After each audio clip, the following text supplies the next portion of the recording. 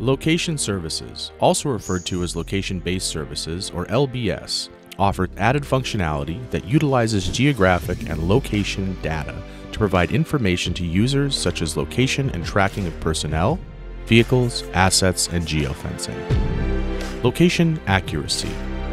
Location accuracy refers to the precision of the measured location relative to the ground truth or the actual location.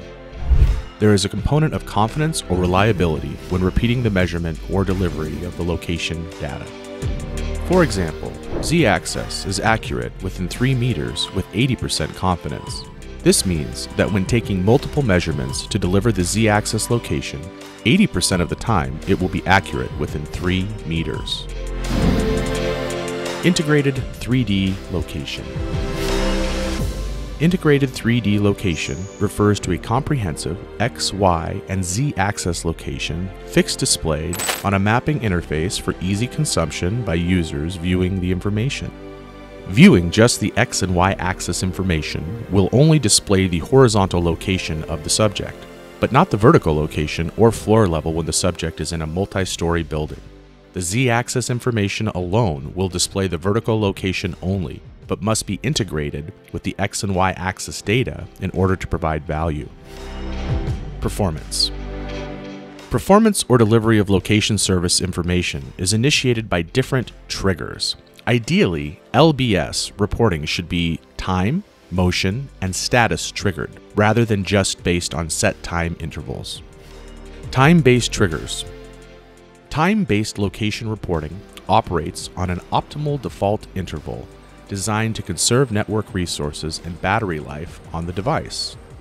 Someone in an administrative, investigative, or inspection role may not need to have the same location update interval as a frontline operational first responder.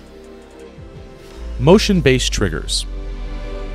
With a motion based trigger, the location of the person or vehicle in motion will update based on their speed or activity. The faster the subject is moving, the more frequently or faster the location information should update. For example, someone walking may not need their location updated as frequently as someone running or driving. Location data that is just a few seconds old is less useful for real time decision making. Status based triggers. Status based triggers are appropriate during times when it is critical to have extremely accurate and real time location information. For example, location information should be reported frequently in cases where a responder needs emergency assistance.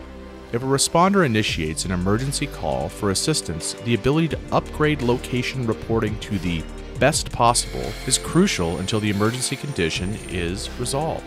In consultation with public safety, the FirstNet Authority promotes an ecosystem of products and services that serve the unique needs of first responders.